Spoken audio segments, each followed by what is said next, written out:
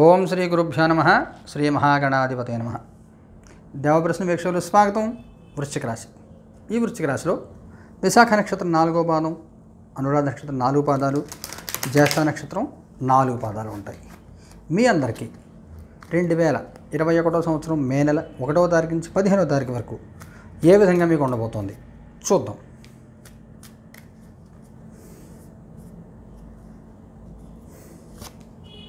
Hero pant బాగుంది. ఇంకో card తీస్తాను.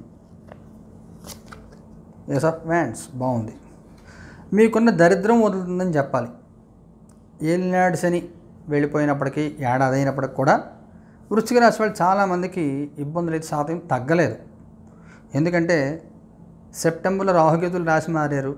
అంతకుముందు రాహుకేతులు అనుకూ అనుకూలంగా లేరు.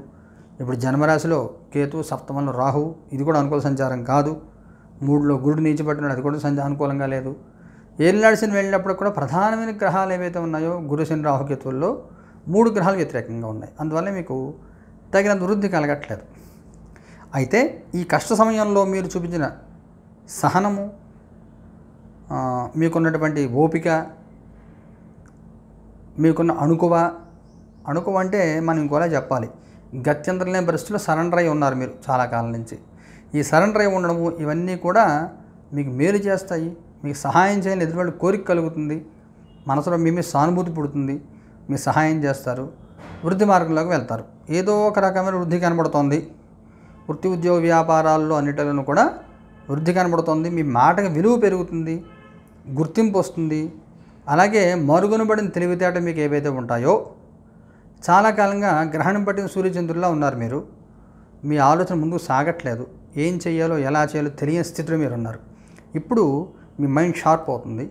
మీరు కొత్త యాక్టివిటీస్ని మొదలు పెట్టడం కానీ కొత్త వ్యవహారం చేయడం కానీ మీ పాత పరిచయాలు అందరితో మాట్లాడడం కానీ ఉద్యోగ ప్రయత్నాలు అన్ని రకాలకు కూడా మీకు సక్సెస్ అనేది మీకు మూమెంట్ కొంత వస్తూ ఉంటుంది మీకు. ముఖ్యంగా మీకు ఈ సమయంలో మూడవ స్థానంలో శ్రవణ నక్షత్రంలో శని ఏడవ స్థానంలో రోహిణి నక్షత్రంలో రాహు ఉండడం మూలంగా మిమ్మల్ని తట్టి రేపుతారు ఎవరు? ఎవరైతే మీరు చాలా కాలం దూరం పెట్టేశారో ఎవరైతే దూరం విడిచిపెట్టేశారో వాళ్ళు మీ శ్రేయోభిలాషని మళ్ళీ వచ్చి మిమ్మల్ని మిమ్మల్ని తట్టి లేపి ఎలా కాదు ఇలా చేయాలి ఇలా చేయాలని చెప్పి మిమ్మల్ని మళ్ళీ యాక్టివ్ లైఫ్లో తీసుకొచ్చే ప్రయత్నం చేస్తారు. యాక్టివ్ లైఫ్లోకి వస్తారు. దానివల్ల వాళ్ళ వాళ్ళకు కూడా కొంత స్వార్థం ఉంటుంది మీకు ఉపయోగపడుతుంది.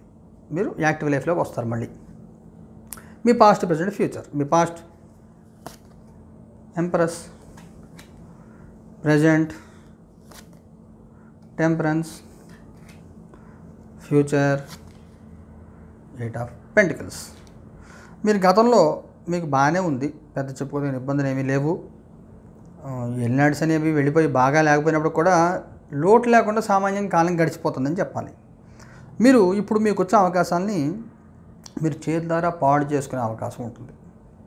మేనవేషాలు లెక్కటి ఇలా చేస్తే ఎలా ఉంటుంది అలా చేస్తే ఎలా ఉంటుంది ఆలోచించొద్దు. రంగంలో దూకేయండి. వచ్చిన అవకాశం మీరు తీసుకోండి. మీరు ఉద్యోగరీత్యా ఏ కారణంగానే స్థాన జనము వేరే ఊరు వెళ్ళి ఉద్యోగం చేయాలి మీరు హైదరాబాద్లో ఉన్నారు బెంగళూరు వెళ్ళాలి పూణే వెళ్ళాలంటే రీలొకేషన్ వెళ్ళడం ఇలా కూర్చోవద్దు. వచ్చిన అవకాశం ఏది కూడా వదులుకోవద్దు. అవకాశం అందిపుచ్చుకోండి. సక్సెస్ఫుల్ సాధిస్తారు మీరు బాగుంటుంది. ఫ్యూచర్లో కూడా మీరు బాగానే ఉంటుంది. కష్టపడి పనిచేసే తత్వం మీకు ఉంటుంది. అది గుర్తింపు ఉంటుంది పని చేస్తారు గుర్తింపు వస్తుంది. మొత్తం మీద స్తబ్దత తగ్గి డెవలప్మెంట్స్ కనబడుతున్నాయి మీకు. వచ్చిన అవకాశం వదులుకోవద్దు ముఖ్యంగా మీరు. అది మీరు జ్ఞాపకం పెట్టుకోండి. మీ కుటుంబపరంగా సామాజికంగా మీకు ఎలా ఉండబోతుంది? పేజ్ ఆఫ్ కప్స్ పర్వాలేదు. వచ్చిన సహాయం అందిపుచ్చుకుంటారు మీరు? చెప్పాను కదా మీరు వదలొద్దు సహాయం ఇది కూడా. ఎవరో సహాయం చేస్తారు. ఒక అద్భుతమైన అవకాశం వస్తుంది. దాన్ని ఒడిసి పట్టుకోండి. మీరు అవకాశం పోకుండా. మీరు జాగ్రత్తగా చూసి ముందుకెళ్ళండి మీరు. ఉద్యోగస్తులకి ఎలా ఉంటుంది బాగుంది పేజ్ ఆఫ్ పెంటికల్స్ ఉద్యోగం ఉంటుంది ఉద్యోగం పోదు. పెద్ద ప్రమోషన్స్ రావు చిన్న ప్రమోషన్స్ వస్తాయి. జాబ్ లేని వాళ్ళకి మీకంటే కొంత పాత శాలరీ కంటే తక్కువ శాలరీతో జాబ్ వచ్చినా మీరు జాబ్లో జాయిన్ అవ్వండి. పొజిషన్ తగ్గినా కానీ శాలరీ తగ్గినా కానీ జాబ్లో జాయిన్ అవ్వండి. తర్వాత డెవలప్మెంట్స్ వస్తాయి. వచ్చే అవకాశం మాత్రం పాడు చేసుకోవద్దు. వ్యాపారస్తులకి ఎలాగుంది? వ్యాపారస్తులు కొంత బాగాలేదు. ఎయిట్ ఆఫ్ సోర్ట్స్ అష్టదిగ్బంధనంలో ఉంటారు. మీరు ఏ పని సాగదు ముందుకి. ఎలా చేయాలో ఎలా చేయాలో అర్థం కాదు. కొంత అనారోగ్య సూచన ఉంటుంది. ఏ పని చేసినా ఆశీస్ నిర్ణయం తీసుకోండి. మీరు ఇన్వెస్ట్మెంట్ చేసేటప్పుడు వెంటనే ప్రాఫిట్స్ వస్తాయి అనేటువంటి ధోరణిలో కాకుండా ఇది డెడ్ ఇన్వెస్ట్మెంట్ అవుతుంది అనే విషయాన్ని మీరు ఆలోచన చేయండి. ముఖ్యంగా రియల్ ఎస్టేట్ వాళ్ళు వ్యాపారం చేసేవాళ్ళు దెబ్బతింటారు కొంతవరకు. అలాగే ఈ ఫుడ్ ఐటమ్స్ బట్టల వ్యాపారం చేసేవాళ్ళు వాళ్ళు కూడా కొంచెం దెబ్బతింటారు. ఎక్స్పోర్ట్స్ అవి చేసేవాళ్ళు వాళ్ళు కూడా కొన్ని దెబ్బతింటారు ముఖ్యంగా రియల్ ఎస్టేట్ వాళ్ళు మాత్రం చాలా జాగ్రత్తగా చూసుకోండి. వ్యాపారం కోసం తిరిగి తిరిగి మీ అనారోగ్యం పాడు చే- ఆరోగ్యం పాడు చేసుకోవద్దు అనారోగ్యం కొని తెచ్చుకోవద్దు మీరు. ఆర్థికంగా మీకు ఎలా ఉంటుంది? ఆర్థికంగా పర్వాలేదు. ఏదో ఒక చిన్న బెనిఫిట్ వస్తుంది మీకు. మెజిషియన్ కార్డు ఏదో ఒక అవకాశం వస్తుంది. అకస్మాత్తుగా ఏదో చిన్న లాభం కలుగుతుంది. ఎఫెక్టివ్గా అమౌంట్ మీకు వస్తుంది. మీరు ఆర్థికంగా బాగానే ఉంటుంది. ఆరోగ్యపరంగా మీకు ఎలా ఉండబోతుంది? ఆరోగ్యపరంగా ఎలాంటి సమస్యలు లేవు. టెన్ ఆఫ్ పెంటికల్స్ బ్రహ్మాండంగా ఉంటారు. హెల్త్ ఇష్యూస్ మీకేం కనబడట్లేదు. ఏదైనా ముఖ్యమైన సంఘటన జరుగుతుందా?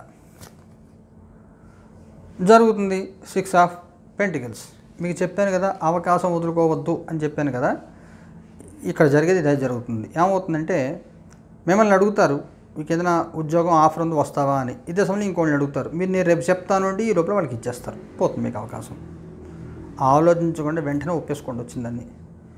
మీరు ప్రయారిటీస్ లెక్కబెట్టి ఒకటి రెండు మూడు రేపు మూడు రోజు రేపు మధ్యన దుర్ముహూర్తం చూసుకుంటాను తారాబలం చూసి చెప్తాను నేను మా నాన్న అడిగి చెప్తాను అమ్మని అడిగి చెప్తానంటే ఆఫర్ పోతుంది. ఆ రకంగా చేతులారా మీకు అవసరమైన వచ్చిన దాన్ని అవసరమైన దాన్ని పోగొట్టుకునే అవకాశం ఉంటుంది. వచ్చిన దాన్ని వదులుకోకుండా అలర్ట్గా ఉండండి. అలాగే మీ మెసేజ్లు కానీ మెయిల్స్ కానీ ఏమైనా చూసుకోండి. ఆ పాతబడి రెగ్యులర్ మెసేజ్ చేస్తున్నాడు అనుకుంటే జంక్ మెసేజ్లు పోకుండా చూసుకోండి. ఆడవాళ్ళకి ఏదైనా సూచన ఉందా? క్వీన్ ఆఫ్ కప్స్ ఇంకో కార్డు తెస్తాను.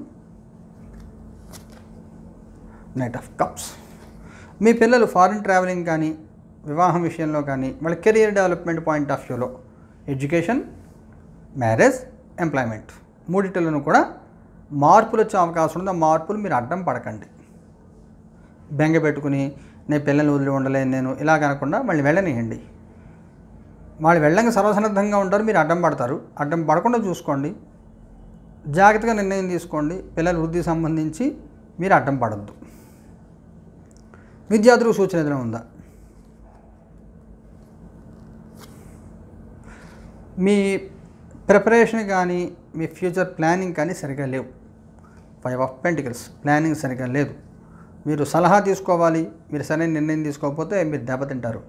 మీకు కొంత అయోమయ స్థితిలో మీరు ఉంటారు. ఇన్సెక్యూరిటీ ఫీలింగ్ ఉంటుంది ఫైనాన్షియల్ ప్రాబ్లమ్స్ ఉంటాయి కొంచెం ఎడ్యుకేషన్ పాయింట్ ఆఫ్ వ్యూలో ఫ్యూచర్ గురించి. మీరు సరైన నిర్ణయం తీసుకోండి అమ్మా నాన్న మాట్లాడి వాళ్ళు ఎంతవరకు మీకోసం ఖర్చు పెట్టగలరు. అది ప్లానింగ్ చేసి దాన్ని తగినట్టుగా చేయండి తప్ప లోన్లు తీసుకు చేయాలి నాకు లోన్ వస్తుంది ఇలాగే ఈ రకమైనటువంటి మాటలు మీరు మాట్లాడద్దు అమ్మా నాన్నని ప్రెషర్ పెట్టద్దు మీరు. నక్షత్రాల వారీగా చూసుకుంటే విశాఖ నక్షత్రం వాళ్ళకి ఎలాగుంది? త్రీ ఆఫ్ సోట్స్ బాగాలేదు అనురాధ వాళ్ళకి ఎలాగుంది? టెన్ ఆఫ్ వ్యాండ్స్ అంత గొప్పగా లేదు. జస్ట్ వాళ్ళకి అలా ఉంది. జస్టిస్ పర్వాలేదు. వ్యాపారంలో నష్టపోయే అవకాశము అనారోగ్య సూచన అవన్నీ ఉంటాయని చెప్పాను కదా అవన్నీ కూడా ఈ విశాఖ నక్షత్రం అంటే చాలా చాలా ఎలర్ట్గా ఉండాలి. చాలా ఎలర్ట్గా ఉండాలి. లేకపోతే మీరు దెబ్బతింటారు ఆరోగ్యం పాడవుతుంది ఆర్థికమైన నష్టాలు కలుగుతాయి. మీ పార్ట్నర్స్ ఎవరిని మిమ్మల్ని మోసం చేసే అవకాశం ఉంటుంది. అనురాధ నక్షత్రం వాళ్ళు మీకు అవకాశం పోగొట్టుకుంటారు మీరు మంచి అవకాశం పోగొట్టుకుంటారు మీరు టైం వేస్ట్ చేసి నిర్ణయం తీసుకోక అని చెప్పాను కదా అది ఈ అనురాధ నక్షత్రం వాళ్ళకు ఉంటుంది. విశాఖ నక్షత్రం వాళ్ళు ఆడవాళ్ళు పిల్లల సంబంధించి అడ్డం పడద్దు అని చెప్పాను కదా అది విశాఖ నక్షత్రం వాళ్ళకి. మొత్తం మీద కొంత ప్రెషర్ అయితే మీకు ఉంటుంది సబ్కాన్షియస్గా కొంత చేంజెస్ వస్తున్నప్పుడు కూడా ఆ వస్తున్న చేంజెస్ని పాజిటివ్ చేంజెస్ని మీరు ఎంతవరకు ఇవి బాగుంటాయి ఎంతవరకు మనకి నిలబడతాయి వచ్చిన డెవలప్మెంట్స్ అనేటువంటి కొంత తెలియని ఆందోళన భయం మీకు కొట్టుమిట్టాడుతూ ఉంటారు మీరు. అందువల్ల వచ్చిన డెవలప్మెంట్స్ మీ ముగ్గురు కూడా మూడు నక్షత్రాల వాళ్ళు. ఈ రాశివాడు మొత్తం ఎవరు కూడా పూర్తిగా ఎంజాయ్ చేయలేరు అని చెప్పాలి.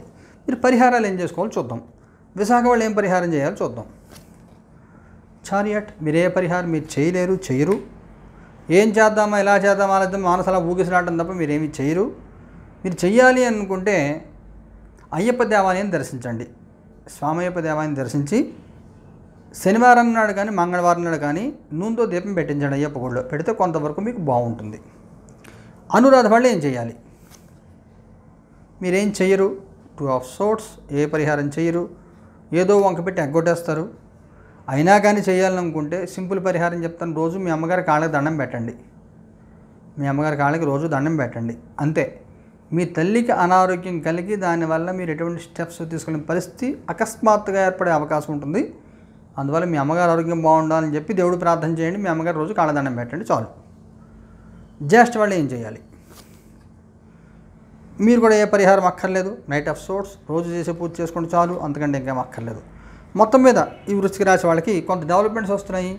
కానీ వాటిని పూర్తిగా మీరు ఆస్వాదించలేని స్థితిలో మీరు ఉంటారు. కారణం ఏదైనా కావచ్చు. కొంచెం అలర్ట్గా ఉండండి వచ్చే అవకాశాలు పాడు చేసుకోకండి. శుభం భూయాత్.